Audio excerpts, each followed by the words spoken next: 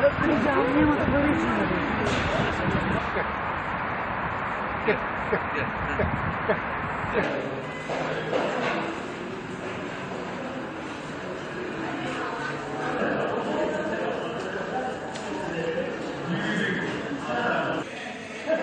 Kolay gelsin.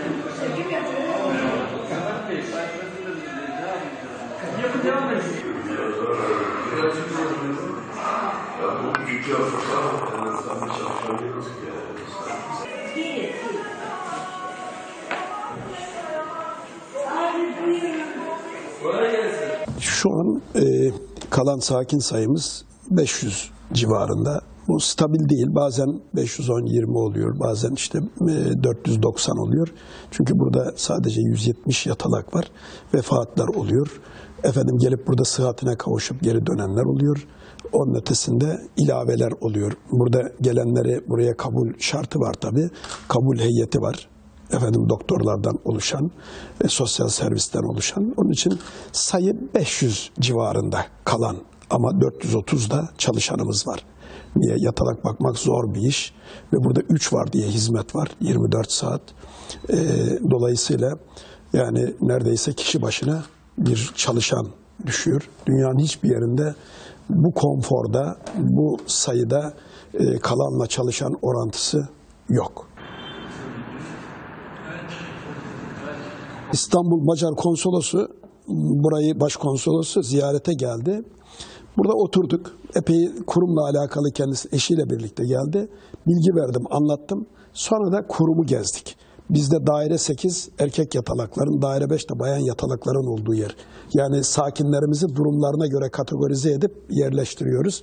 Gezip dolaştıktan sonra işte kiliseyi, havrayı da yan yana gördükten sonra bir de ileride camiyi Dedi ki ben dedi bu yoldan çok gelir geçerdim. Benzin istasyonu bizim mülkümüz kirada. Benzin istasyonunun oradan son noktaya kadar duvarımızın uzunluğu yaklaşık 300 metre. Macar konsolos dedi ki bu yoldan geçerken burada uzun bir duvar görürdüm. Ama dedi bundan böyle bu duvarın içini gezdikten sonra, bu faaliyeti ve hizmeti gördükten sonra bu duvarın içerisinde bir tarih, bir medeniyet ve bir insanlık yattığını düşünerek geçeceğim dedi. Dıştan bakan burayı taş binaları da görüyor zannediyor askeri kışla veya tutu gibi. Burada bir e, yaşam alanı var. 27 bin metrekare alan üzerinde her türlü kalanlarımızın kafeteryası, efendim darül ikramı, efendim e, bağış kabul yeri, her türlü efendim ihtiyaçlara cevap verecek bir alan, bir müessese. Kalanlara sorduğunuz zaman son derece mutlu ve huzurlu olduklarını göreceksiniz. Onlar mutlu olduğu zaman biz de mutlu oluyoruz. Çalışanlarımız mutlu ve huzurlu olacak ki kalanlara iyi hizmet versin. Biz rehabilitasyon birimi olaraktan evet biz hastanın işte ilacını verdik, işte onu yaptık, bunu yaptık demiyoruz. Ee, şöyle biz mesela sabahleyin işbaşı yaptıktan sonrasında yaklaşık 8-8,5 saat e, burada onlarla vakit geçiriyoruz. Eve gittiğimiz zaman inanın biz çocuklarımız ancak 2 ya da 3 saat kadar bir vakit geçirebiliyoruz. Zamanımızın çoğu burada bu sakinlerimizde geçiyor ve e, burası bizim e, aslında ilk evimiz olmuş oluyor baktığınız zaman. Çünkü evde çocuklarımızla geçirdiğimiz vakit çok az, çok sınırlı. Daha çok vaktimizi buradaki sakinlerimizle geçiriyoruz ve onlarla kaliteli zaman geçirmeye çalışıyoruz. Zaman zaman tabii çeşitli kurum ve kuruluşlardan e, ziyaretçiler oluyor. Öğrenci kitlesi ağırlıklı olarak buraya geliyor, bizleri ziyaret ediyor.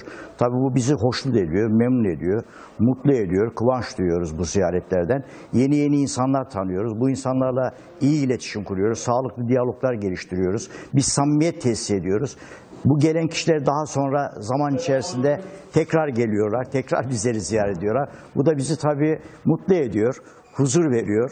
Güzel medeni ilişkiler geliştiriyoruz. Böyle ziyaretlerin sık sık olmasını diliyoruz. Her bakımdan bizi mutlu ediyor, bahtiyar ediyor.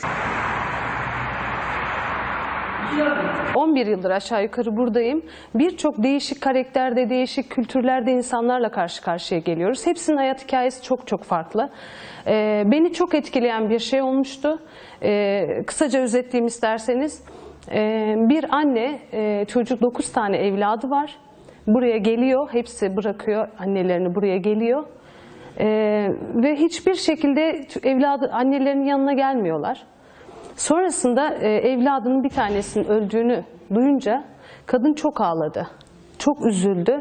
Bu beni çok etkiledi. Hani 9 tane evlat bir anneye bakamıyor ama o evlada bir anne her şekilde bakıyor. Yani e, bu beni çok etkilemişti. Çok üzülmüştüm gerçekten. Tabii bunun gibi birçok hikayelerle karşı karşıya kalıyoruz. Ee, ama işte e, biz onlarla bir aile olduk zaten burada. Onlar bize dertlerini anlatıyorlar. Yeri geliyor biz onlardan akıl alıyoruz. Çünkü bizim büyüklerimiz birçok şey, hayat şeylerini görmüş, geçirmiş insanlar. Karşılıklı e, birbirimize bir yerde destek de oluyoruz açıkçası.